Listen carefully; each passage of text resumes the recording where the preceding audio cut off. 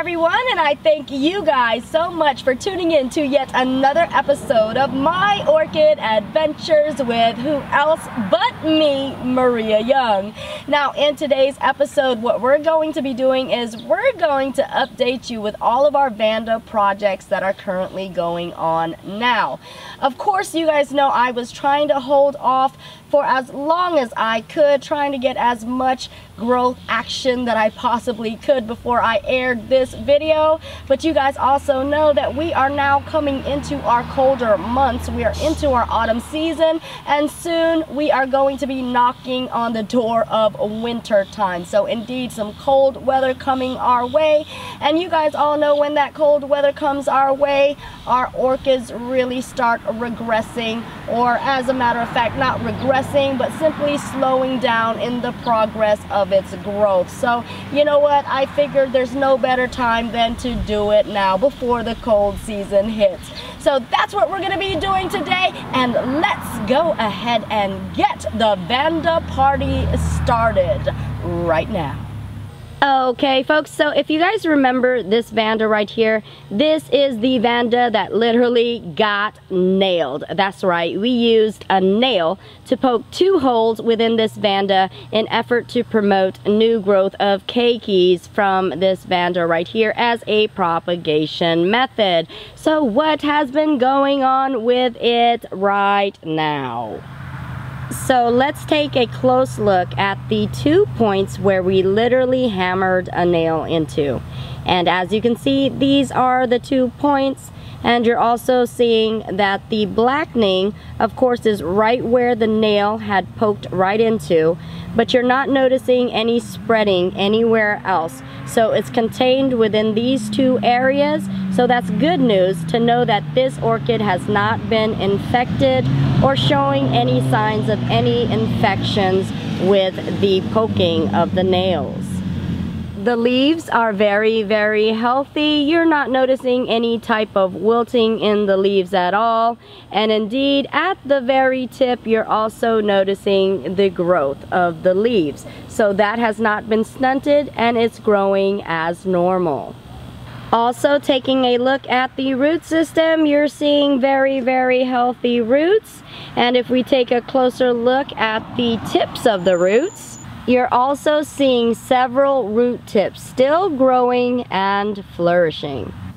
And if we look throughout the stem area, you're also noticing some nubbins that are beginning to form all throughout the stem area. But as you can see with these ones, these are more rounded. So I think these two are going to be roots instead of keikis. But we do have some good news, folks, because as you can see here, there are some small pointed nubbins that are beginning to protrude outwards. And indeed, we are hoping that these will become formation of little new growths of keikis. So indeed, this guy right here is still pretty healthy and again showing signs of growth and possible chance of keikis. So even though it's been about two months, we have noticed some things going on with this orchid and still we are going to keep our fingers crossed. Now, a long time ago, if you guys remember, we did have to do such a brutal operation on a yellow, spotted, beautiful, blooming Vanda. And unfortunately, folks, that infection was so powerful that this did not have a fighting chance as you can see, we did everything that we absolutely could, disinfected it, cut it where it needed to be, disinfected it again, and of course used cinnamon, and still folks, this is the end results. Again, sometimes you win, and sometimes you lose, but just as long as you've done everything you can possibly, hey, you gave it your best shot, and you can walk away free without any type of guilt or remorse. So indeed, unfortunately this was not successful, but I am free and released from any regret. And if you remember this Vanda right here, the one that is combating Fusarium, the dreaded F word, folks. Indeed, you can see that the Vanda is still well intact. Leaves are fully healthy, no wilting. Again, roots intact, still having the new growth of root tips. And let's take a look at the budding blooms. And here they are, folks. Look at all those buds just ready to burst forth with beautiful, fragrant blossoms.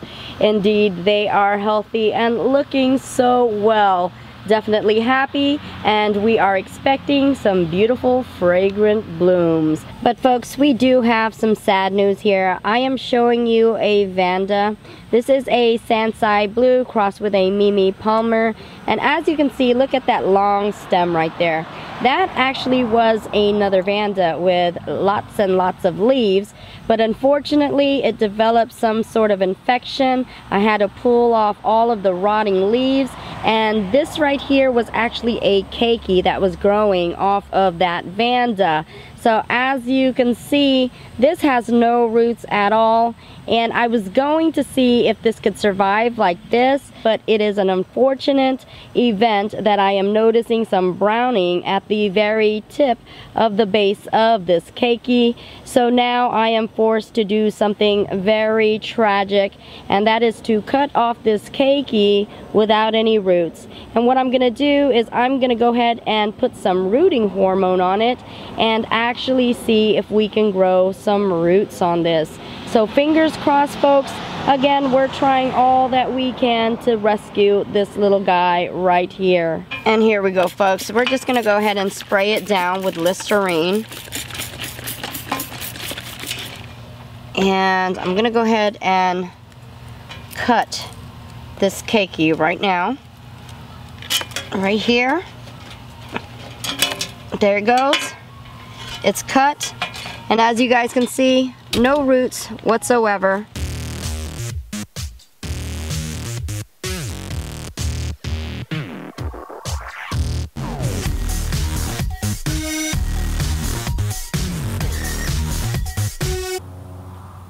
And here we are folks with the Vanda that we just cut.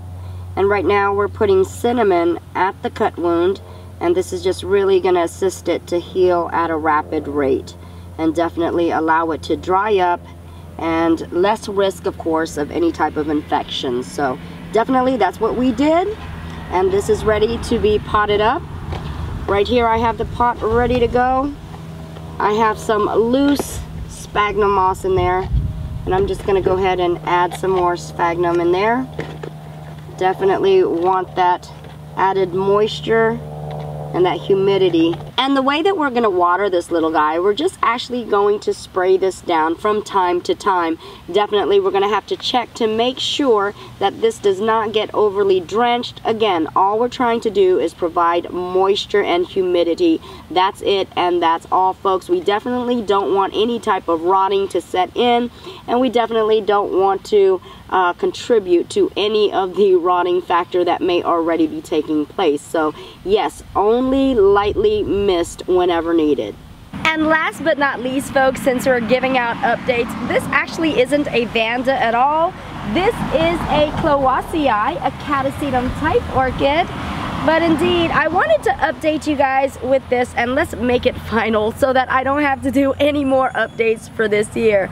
But this indeed was the project that we did, which was doing a new catasetum type orchid growing method. If you guys remember, we definitely started this out in a terrarium and as you can see, it's very, very healthy and has grown pretty large. And now it's beginning to yellow, at least some of the leaves are. So I am guessing that this is going to be on its way out, at least the leaves. And you guys know this particular Clowesia actually loses all of its leaves and that's when it will begin to spike out. So yeah, it's right on time folks and definitely alive, well, and very healthy and we are going to wait for the much anticipated blooms for this. And there you have it, folks. Those are our updates of all of our Vanda projects. And indeed, we added a couple of more. Yeah, unfortunately, but you guys know it was a state of emergency that we did it that way. Unfortunately, you guys know we just simply got to do whatever it is that we got to do. Now, I want you guys to know you have to, have to, have to, have to, have to stay tuned for more. I have so many things that are about to come our way. I definitely want to make all of the announcement, but unfortunately, a lot of the things that I'm into is going to take a lot of preparing and planning and a lot of puzzle pieces coming together to create that bigger picture. But indeed, some very, very exciting news is on the way, so you definitely do not want to miss it. And of course, you guys know, right? I'm like right at the corner of hitting my 5,000 subscriber. Like, oh my BGbers, I cannot even believe it. And I'm so thankful and I'm so humble that so many of you guys would join me on my adventure and see it worthy enough to travel with me on it. So definitely, mwah, mwah, mwah, love you guys all. Now, with that being said, I am gonna have an extravaganza uh, gift giveaway right around the corner, folks. But you guys know I'm not yet at my 5,000 mark and I'm holding off until I get there. But yeah, we're right around the corner, so I'm about to make some pretty amazing announcements. And indeed, I have so many gifts to give away, and I have some vendors too that are right in line with me, willing to also donate and give away some prizes to my beloved viewers and my friends and my familia were like this. You guys already know. So again, thank you guys so much and I love you all. Mwah, mwah, mwah. Many things coming our way. Success and prosperity. Always living the dream, folks, and loving our orchids. Live, love, laugh. And of course, grow orchids.